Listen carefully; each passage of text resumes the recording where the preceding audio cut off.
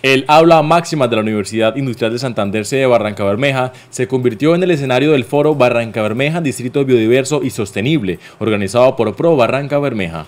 Este evento reunió a destacadas figuras económicas y empresariales de la región de Magdalena Medio en una jornada de diálogo e intercambio de ideas.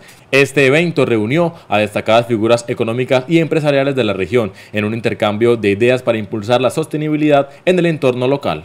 La directora de Pro Barranca Bermeja, Susana Mesa, se destacó por presentar con entusiasmo los pormenores de las intervenciones llevadas a cabo por los panelistas. Bueno, con mucha satisfacción me permito contarles que fue todo un éxito desde la agenda académica, los participantes, la temática, los panelistas.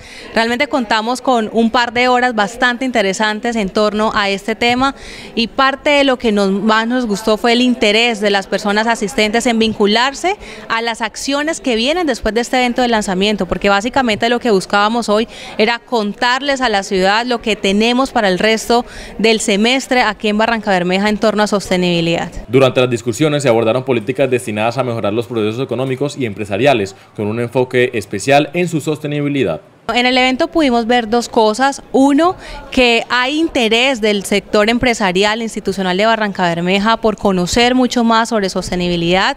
Y dos, que desconocen muchas herramientas para hacerlo. Entonces, hoy conectamos a esos expertos que tienen la información, que tienen las herramientas con las necesidades y los deseos de los empresarios. Uno de los momentos destacados del foro fue la participación del gerente del Centro Comercial San Silvestre, quien compartió detalles reveladores sobre el enfoque sostenible que guía sus operaciones. Bueno, lo más importante es que todos los empresarios, la comunidad, la sociedad en general, trabajemos en pro de la sostenibilidad.